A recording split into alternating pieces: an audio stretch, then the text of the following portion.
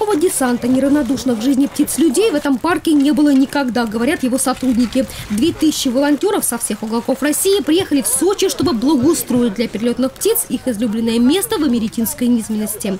Альбин Псов в составе своей группы прибыл из Краснодара на призыв «Поможем пернатам» откликнулся сразу. Как только появилась возможность приехать, за помочь э, в э, реализации этого проекта, я сразу же согласился и даже друзей звал, потому что если мы не будем обращать внимание на то, где мы живем и на окружающую среду, то, мне кажется, будет жить очень сложно и некомфортно. Природный орнитопарк в Сочи – это почти 300 гектаров охраняемой территории, часть из которой находится в районе Олимпийского парка. Также в него включены низкогорные холмы в долине реки Псо.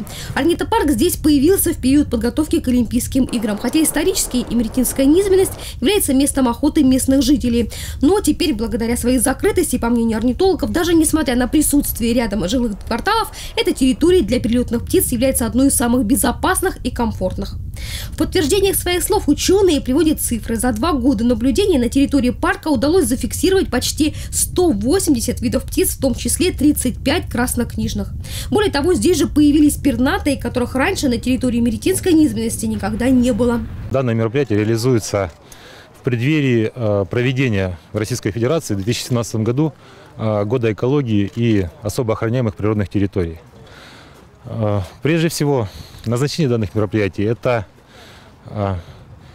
улучшение среды обитания, а также мест отдыха для перелетных птиц для которых, в принципе, создавался данный орнитологический парк. Очень приятно, что мы могли э, с Министерства э, рес, э, природные ресурсы и орнитопарк, и Кубанский техни, технический университет ну, создавать вот эту акцию. Я думаю, что особенно важно, если думать, построить дом, вырасти ребенок и посадить дерево. И это все, что мы делаем сегодня.